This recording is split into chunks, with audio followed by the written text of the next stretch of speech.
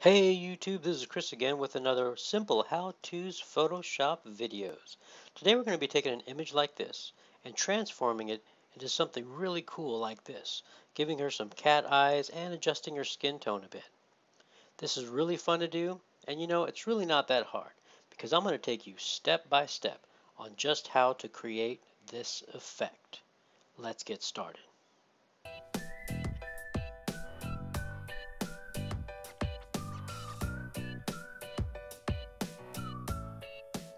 Alright, before we get into it, let me show you where I got these images from. If you want to download them and follow along with me, I got them from Pixabay, and I'll put this link in the description.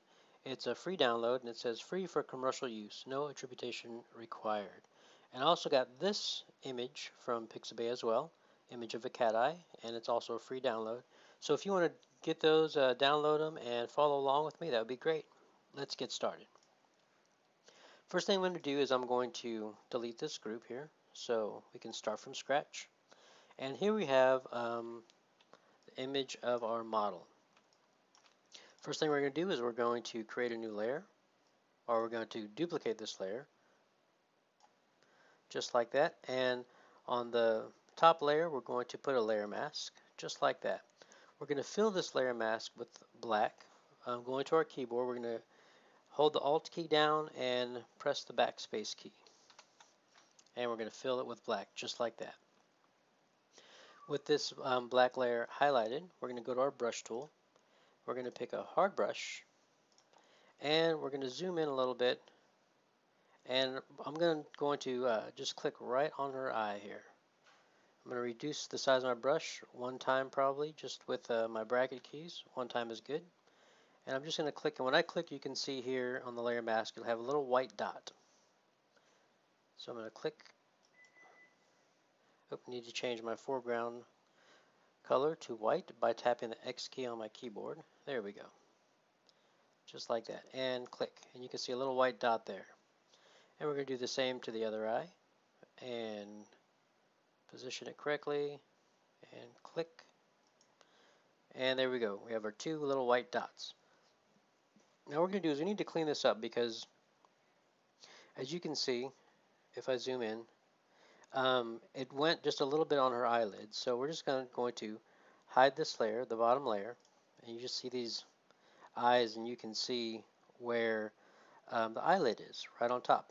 So what we're going to do, with our brush tool still selected, we're going to pick about 80% hardness, the hardness up to about 80%, that's fine. And we're just going to go right around, decrease the size of my brush a little bit using the bracket keys on my keyboard. And we're just going to go, oops, uh, we need to change the foreground color again. So tap X on your keyboard. And we're just going to take some of that out, just like that. Oh, maybe a little too much on the end there. And the same with this one. And we're going to clean it up a little bit more um, here in just a little bit. But for now, we're just going to get a rough estimate on what we need. All right, so now that we have that done, we're going to bring in our cat eyes. And here we have our cat eyes. And if, uh, let me just take you back here just real quick. So here we have the, the picture of our cat eyes. I'm going to grab my elliptical marquee tool. And I'm just going to grab, I'm just going to make a selection around this eye here. Just like that and I am going to make a copy of this layer. Uh, Control J.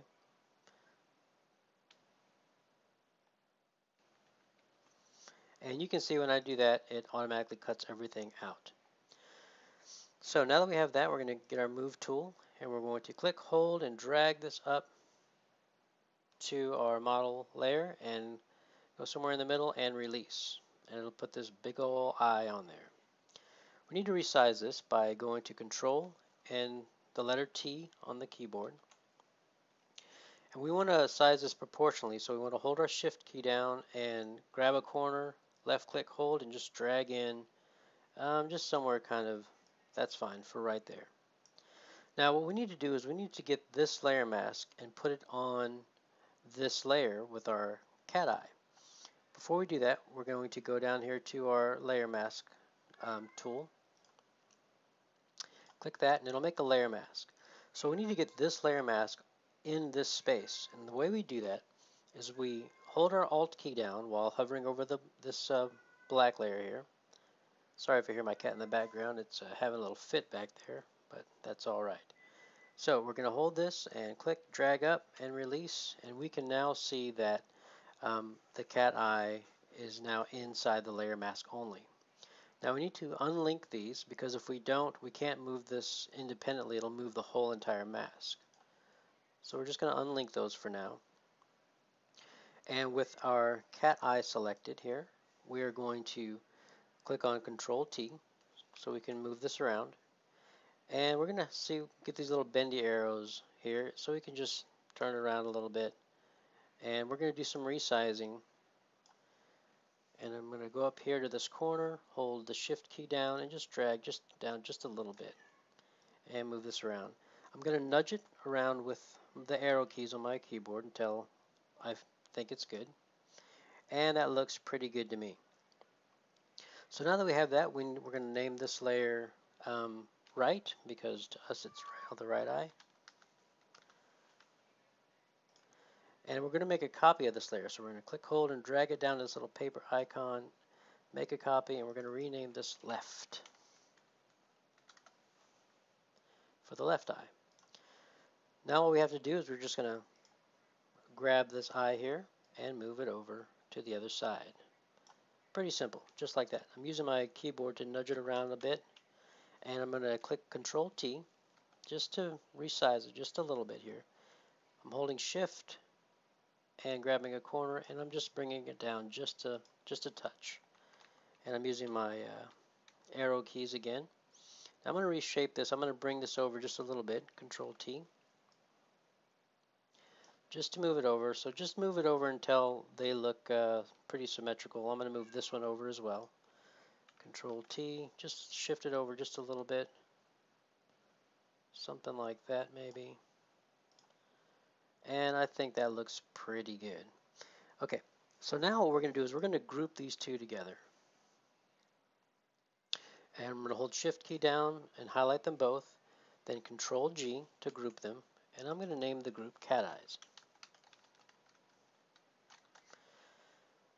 And the reason I want to do this is because I'm going to add some adjustment layers and things um, of that nature to this so that it affects the group entirely um, instead of having to go and do this individually.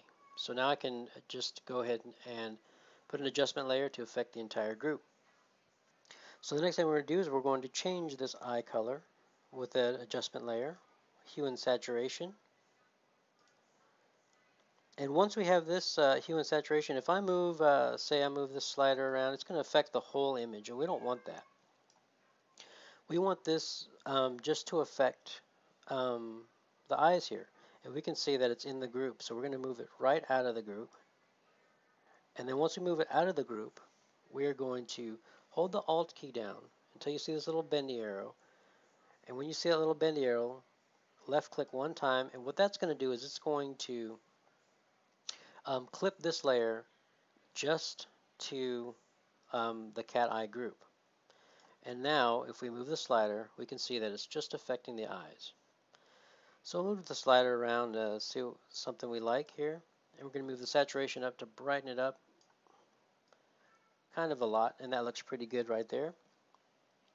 And we can always go back and, and adjust these um, later. But for now, I think that looks pretty good. Next we're going to uh, do a little uh, dodging and burning and the way we do that is we'll create a new layer here and we need to again we need to clip this layer. So hold the alt key down until you see that bend arrow and left click one time. Creates a clipping mask. Now we're going to on the keyboard again hold the shift key down while um, tapping on the backspace key. And we're going to use 50% gray and click OK. We're going to change the blending mode from normal to overlay. And now we're going to zoom in a little bit. Oops. We're going to zoom in just a little bit. And we're just going to uh, uh, brighten this up a little. So we're going to go over here to our dodge tool. And we want to uh, target the midtones first of all. with the exposure of about 20%. Uh, and just have our brush size, that's, that's good. And we're just going to go over each eye here with the midtones, and then we're going to do the highlights. Then we're going to switch from midtones to highlights. We're going to keep the exposure at 20. And it's just going to brighten it up just a little bit here. Just like that. Next we're going to go over and we're going to click on our burn tool. Now with the burn tool we're going to mess with, we're going to target the midtones. Exposure about 20% is fine. And we're just going to go over the dark areas. And just keep going over these dark areas until you're satisfied. I'm also going to go around on these dark parts as well. And it's just going to darken all these spots up and it's going to make it look really nice. Just like that. Okay, so now, now that we've uh, burned it a little bit, we're going to add um, some shadow to it. we're just we're going to do this for each of the eyes, left and right, but we're only going to target the left eye first. And then we're going to apply the, the filter um, to the right eye. And let me show you. So we have a layer, layer style up, and we're going to click on Inner Shadow.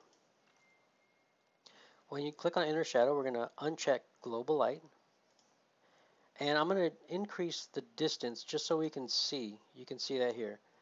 Um, and then I'm going to go up to the angle, and I'm going to click on it. And with my mouse wheel, I'm going to um, scroll down and you can see how the angle of the shadow is turning. And I want this because we have the eyelid here, it's going to create a small shadow underneath just to give it some realism. And now that I have the shadow pretty much where I want it, let's see here.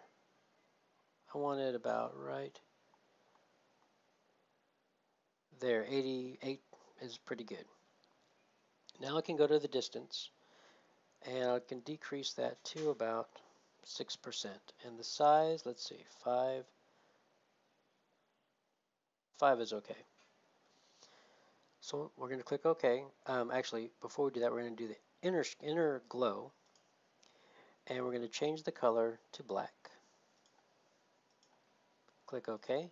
And the blend mode we're going to change to normal. And you're going to see how that makes this stand out a lot more. We're going to change the size to maybe around 2 and click OK. Now you see we have this FX here.